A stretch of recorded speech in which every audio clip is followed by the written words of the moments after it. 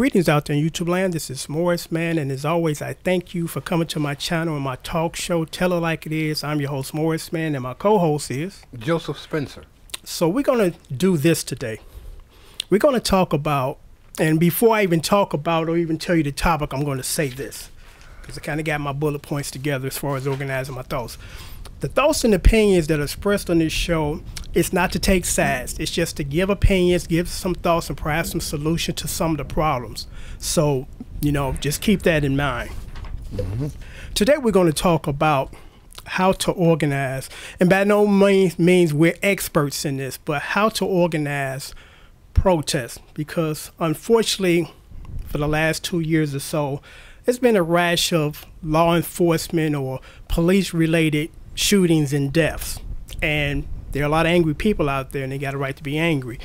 And they're protesting and expressing their pain as far as their dissatisfaction of how law enforcement, and some and not all, how they treat young black men, you know, killing them. So we're going to talk about, you know, our opinions and our thoughts and uh, opinions and recommendations for protesting because I'm a product of the '60s. Joe is a product of you know of that era. Yeah. You know, and let me say this, and then I'm turn it over to Joe, so I can get this going. You know, I look at what I see on the news from New York and Chicago, and I look at the protesting that's going on, and there's some things that immediately jump out at me that really disturbs me. And the first one is these people that are protesting bringing their children to the protest you know, in Dallas, when those five police officers unfortunately lost their lives due to a uh, gunman, a sniper, I seen young black women carrying babies, running. You do not bring your children to protest. You know, even if it, you think it's going to be a, a, a, a innocent protest or a safe one, you don't know. You don't know what's going to transpire when you go out there, especially when you're dealing with topics of that nature and protesting the topics of that nature. So, you know, uh, it's not a good idea to do that and I noticed the majority of the people that are organizing, and I commend you for this. They're very young. I mean, very young. I, I, one uh, interview, one person on the news interviewed one of the organizers. She was 16, and it's like uh, not trying to be uh, negative, but what does a 16 year old know about organizing a protest for a serious cause? And again, I commend you, young folks, for going out there and, and trying to voice your opinion and be seen and be heard. But there's some things that definitely need to be, as far as organizing protests, need to be looked at and, and need to be followed out. But before I kind of continue my recommendations, I'm going to turn it over to Joe. And Joe going to give us some insight because Joe was around during the 60s with the Martin Luther King protests, and he was in some of these events. He was a part of that movement. So he's going to share some of his insight and experiences regarding protesting. Take it over, Joe.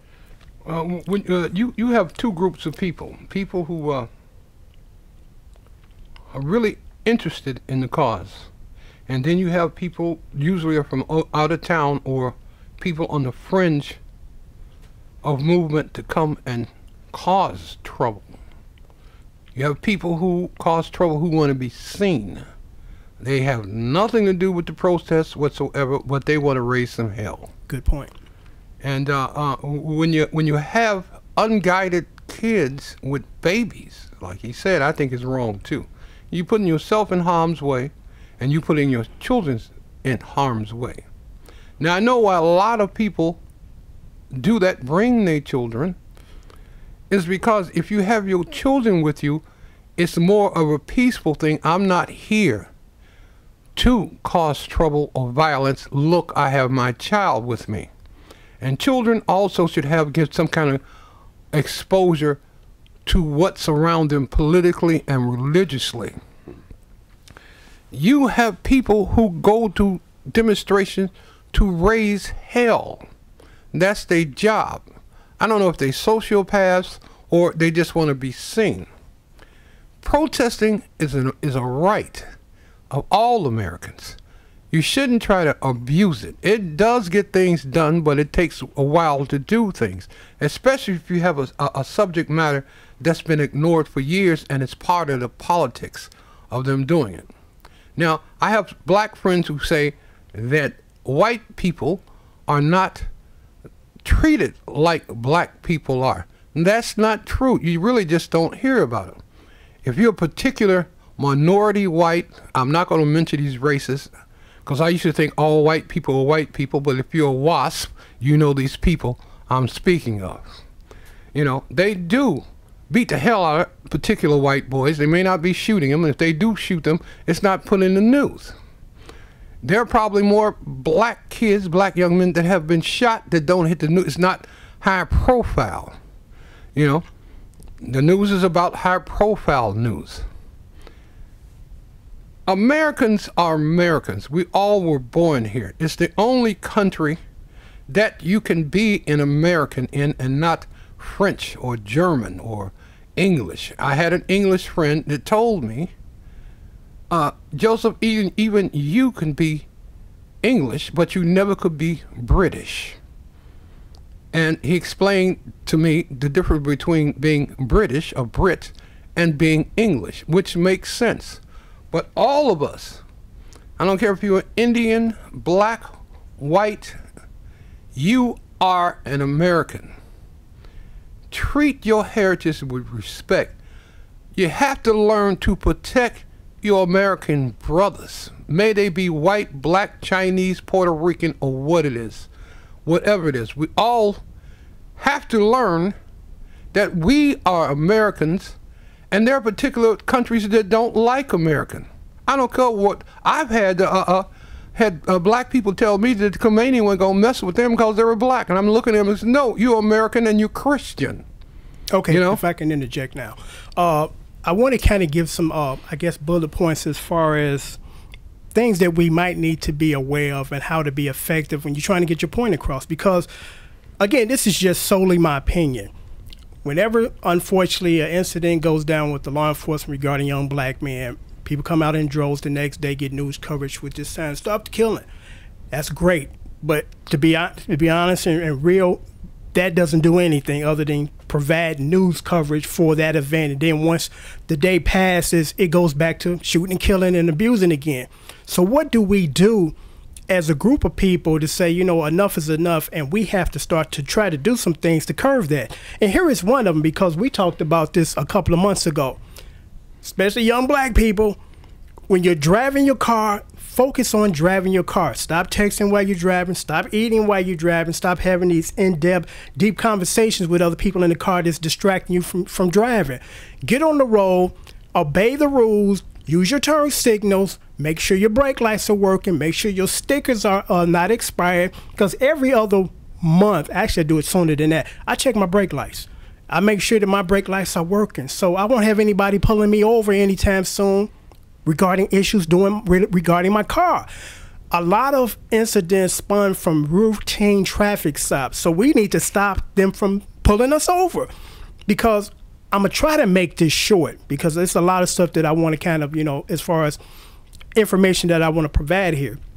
Then I'm gonna turn it back over to you a lot of us don't realize that when cities make their budget now, nowadays versus 70 or uh, 70 years ago, 50 years ago, they factor in revenue from writing tickets and other uh, traffic related incidents. So they actually anticipating that money. We need to break that money up and stop allowing them to pull us over because we have a broken tail light. Get your tail light fixed. Make sure your brake lights work. Make sure everything works in your car so we can start to eliminate them pulling us over because unfortunately, it's sometimes like with the Susan Bland case, unfortunately, it started with I just didn't turn use my turn signal. It escalated to being incarcerated and then being perhaps murdered. So we have to say, you know what? We need to stop this. We need to be more focused on you're not getting any of my money because I'm going to say this, and there are a lot of uh, law enforcement agencies will not really confirm this, and I understand because they have a job, they have a mandate handed down to them, and they're supposed to enforce it. That's their job. It's not like they go out there and say, "I'm going to write my own laws, and this is how I'm going to do it." Everybody has a boss, and the boss is telling them, "Go out there and write tickets and find ways to generate revenue for the city." For the city we need to stop that because again if you're doing what you're supposed to do in most cases because sometimes you could be doing it to the letter and you still get harassed or pull over we need to concentrate on taking or uh, shedding that down as far as again uh, I'm being pulled over because my tail light is broke. I'm being pulled over because I didn't signal. Because whenever I'm in a, a, a very unfamiliar territory, and even when I'm in familiar territory, Joe, I make sure that I obey the laws because I'm like, maybe in this town, they will get you if you don't turn put your turn signal on. In other towns, it's like we don't care about that. So it's up to us to start focusing on things that will stop this. Because here's a, another thing that we need to, to be concerned about or should should know, because most of us don't know this, and it's this: when they train you in the uh, in the police academy, when you draw your gun, it's with intention to inflict deadly force. It's not to shoot you in the leg. You know, so we have to be mindful of that. When that goes down and the guns are drawn, it's like, uh, you know, we, uh, if if we have to, we're gonna kill you. You know, so we as a group of people got to say, you know what, we got to be one step of, of the situation so there won't be a situation caused. Because again, a lot of this spun from routine traffic stops. So you know, you can't be out there ratting as they say dirty.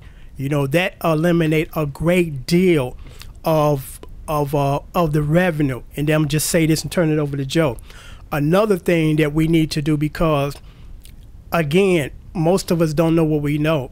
That when we're doing these protesting things, we're out there with the signs and disrupting traffic and people that's just honestly trying to get back and forth to work.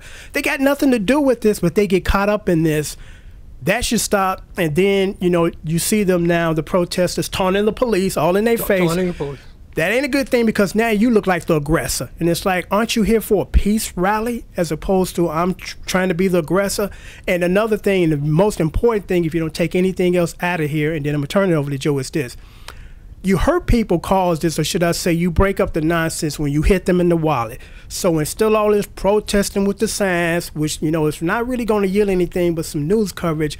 We need to say this, like Martin Luther King did back in the day we need to hit them in the wallet. And we can do that by boycotting, a good example, transportation. Stop riding the trains and buses for a month. You know how much revenue that the city loses if you do that?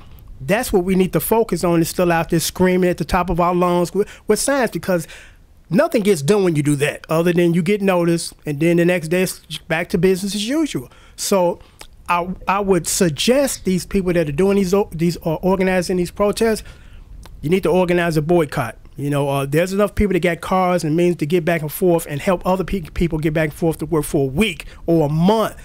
You know, so we can shut down the, the, the, the transit system and they lose all this money. Then they're going to be be uh, uh, more than willing to listen to you and try to work things out and get things back the way they were without people getting killed. So on that note, I'm turning it back over to Joe. One more thing, and also uh, uh, you have to also note that you cannot smoke blunts in your car. No. You cannot have a blunt and, and, and some and some Martell while you driving no. and playing loud music. You can't even hear the police pulling up on you or not. You know, you you you have to learn to give these police officers uh, uh, uh, some respect also. You know, you hey, you, you can't be disrespectful of somebody who's afraid of you in the first place because they feel they're going to get shot. It's not all the policeman's fault they they they see what's going on the street because they're on the street policing.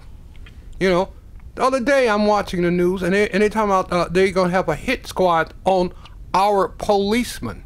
These men are people's sons, daughters, fathers, grandparents. They support their families like everybody else. You know, you can't two wrongs don't make a right. Absolutely. Don't make a right.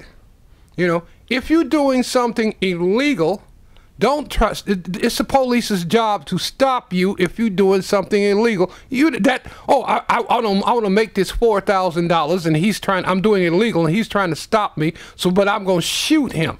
That doesn't make any sense at all. If you're doing something illegal, everybody's business is nobody's business.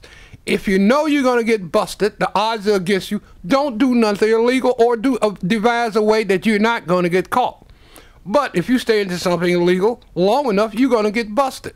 You know, I found out years ago if you're a thug, the police been watching you long before they bust you. You're not slick. I've had people, men in my family, oh, here come the pig. I, I, I, I want to sell this crack, and they stopping me for selling this crack. I'm going to shoot him in the head. That doesn't make any sense at all. You doing something illegal, uh, morally and illegally wrong. Okay, so we're gonna basically sign off now. You know, we just thought we would do this uh, this this this particular episode as far as uh, things that you might want to be aware of and how to perhaps organize a more safe and effective uh, protest. And that's the word, effective protest. Because I mean, if it doesn't get anything accomplished, it's kind of a waste of time. So at, on that note, I'm going to sign off until next time. I thank you guys for coming to my channel and my show, Tell It Like It Is. My co-host Joe Spencer. Until next time, keep keep thinking. Yeah, thank you. Yeah, have a blessed day.